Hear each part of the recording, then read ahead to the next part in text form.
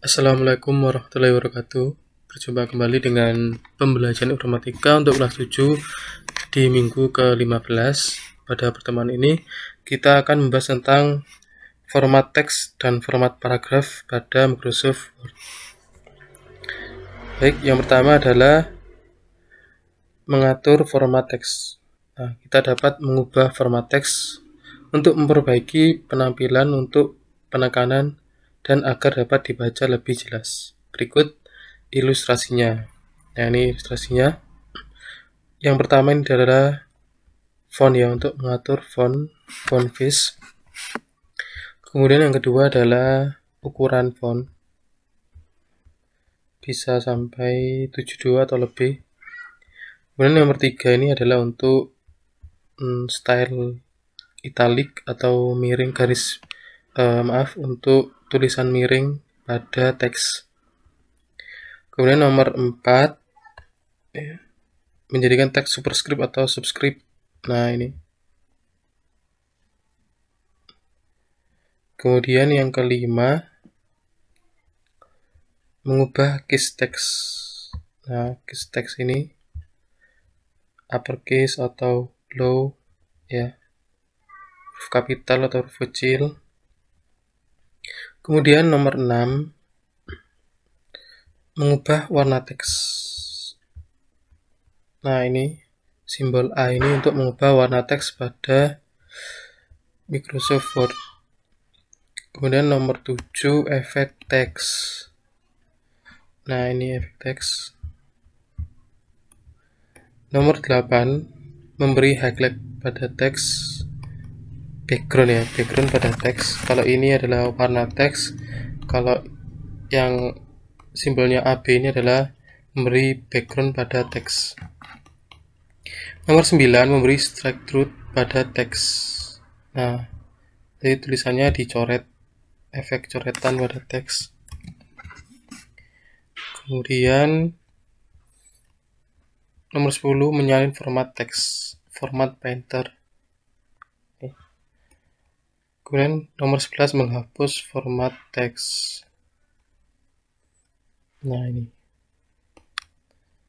All formatting. Kita coba. Sekarang kita ketik SMP L Quran.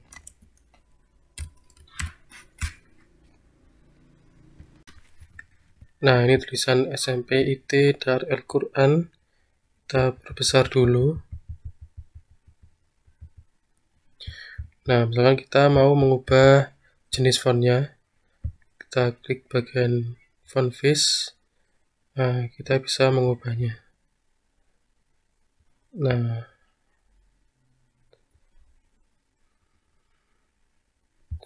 misalkan ini atau yang lain.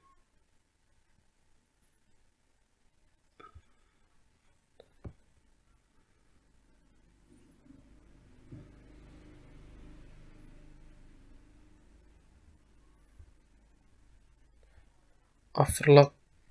Font overlock. Kemudian kita bisa mengubah ukuran hurufnya misalkan 20 nah bisa merubah warnanya.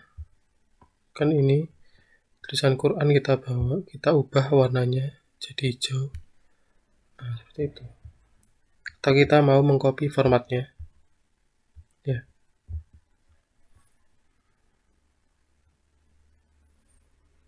nah ini. Ctrl Shift C Ctrl Shift V. Kita copy formatnya. Shift C kemudian kita terapkan di sini. Ctrl Shift V. Nah dia mengcopy formatnya menggunakan format painter ini. Atau jika ingin menghapus formatnya kita klik ini. Klik all formatting. Nah seperti itu kembali ke defaultnya memberikan efek misalkan kita beri efek eh, di sini text efek eh, seperti itu. Atau memberi background highlight nah seperti itu ya.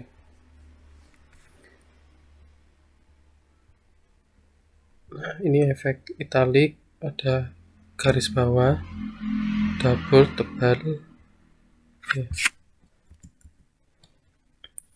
atau ini superscript uh, dia di atas atau subscript dia di bawah.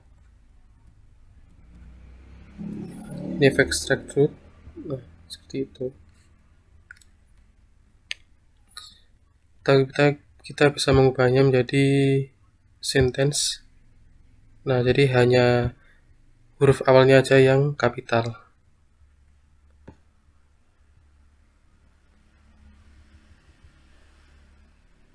upper kapital semua. Lowercase kecil semua. Seperti itu. Pembahasan selanjutnya adalah mengatur format paragraf. Di samping memberi format pada teks secara individual dalam dokumen kita dapat menerapkan perubahan format ke seluruh paragraf seperti spasi baris, kemudian penomoran, dan e, garis tepi pada paragraf.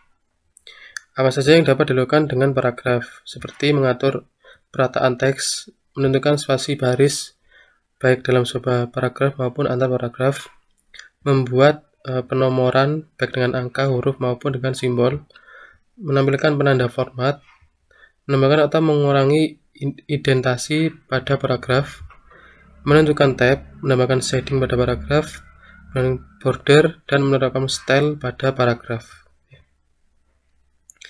kita langsung coba saja. Kita perkecil dulu. Zoom tampilannya. Kita buat hmm, tiga paragraf mungkin ya. Kita pakai rumus yang simple nah, kita perkecil dulu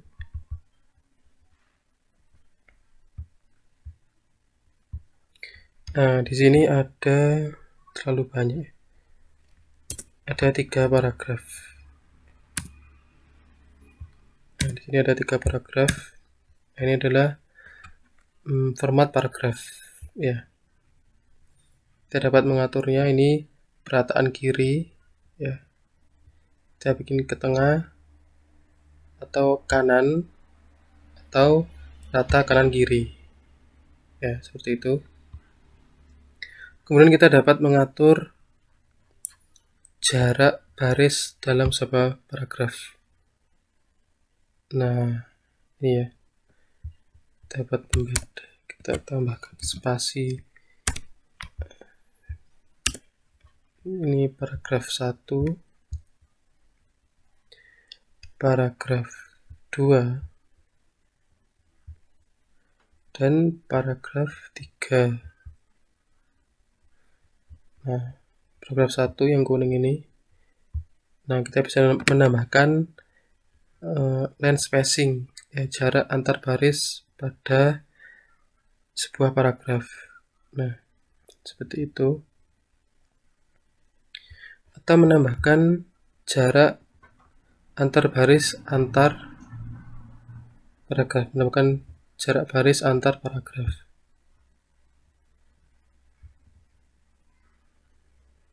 Nah.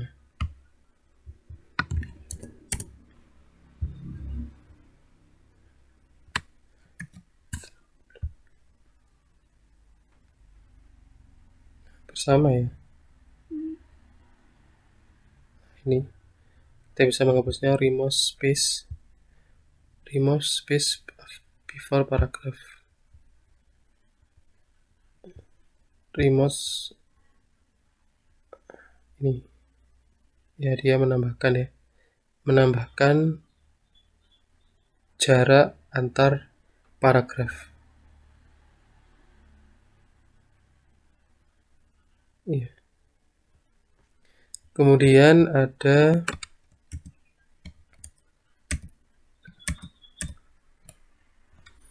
hmm, penanda. Nah, ini penanda format Nah, penanda format. Kita bisa menghilangkannya. Kemudian oh ini bukan. Menambahkan shading nah ini. Kita hilangkan dulu. Nah ini adalah shading dalam paragraf. Kita blok dulu. Kemudian kita resetting dalam sebuah paragraf. Ya. Bedanya ini ya bedanya dengan highlight dia uh, cuma sampai tulisannya. Tapi kalau setting paragraf dia semua ya membentuk kotak. Guna memberikan indentasi ya. Ini seperti jarak misalkan ini. Tambahkan indentasinya nah dia geser ke kanan. Atau kita mengurangi indentasi geser ke kiri. Nah untuk melakukan penomoran memberikan penomoran kita bisa menggunakan menu numbering. Menggunakan angka ya. Atau bisa diganti dengan huruf Romawi. Atau menggunakan simbol.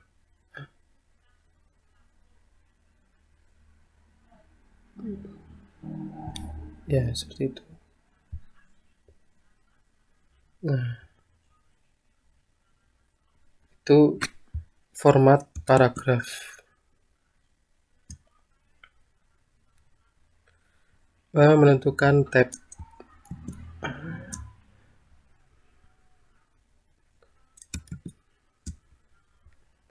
Nomor 7 oh ini iya. Namakan border. Ini kalau mau menentukan tabnya Nah, kita klik di sini bisa.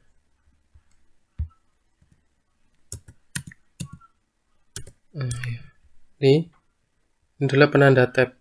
Ketika kita tekan huruf tab pada keyboard, nah dia sampai di sini. Atau kita tambahkan di sini lagi sampai di sini. Ya, tambahkan lagi di sini. Ya.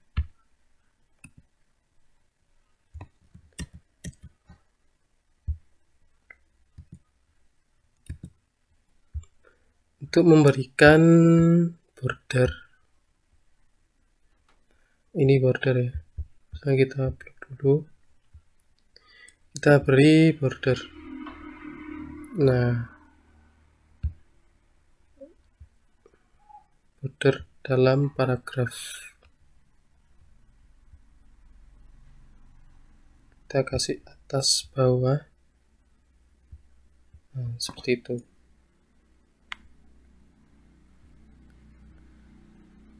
kiri kanan. Nah kita juga dapat memberikan style pada paragraf pada style ini. Nah.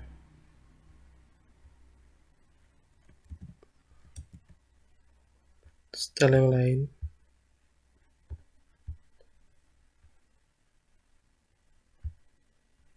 Atau kita bisa membuat uh, style sendiri ya di create a style.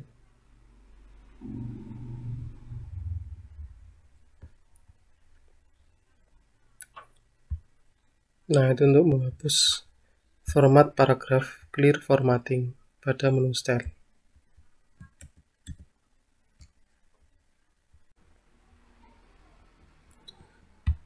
Ya itu pembahasannya dari format paragraf Nah, satu lagi untuk menghapus tab ini ya, ini kan ada tab. Nah, dia jarak ketika misalkan kita tambah di sini dia lagi ya sesuai lurus. Nah, lurus dia. Nah, untuk menghapus uh, tab ini ya, banyak tab dia. Kita bisa mengkliknya dua kali. Nah, kemudian masuk dialog tab, kita clear all uh, maka simbol L ini simbol tab ini akan hilang. Oke nah dia akan kembali normal atau kembali defaultnya. Seperti itu. Baik itu pembahasan hmm, informatika kelas 7 pada pertemuan ini. Eh, jika ada pertanyaan silakan ditanyakan segera ditanyakan. Kurang lebihnya saya mohon maaf. Terima kasih. Wassalamualaikum warahmatullahi wabarakatuh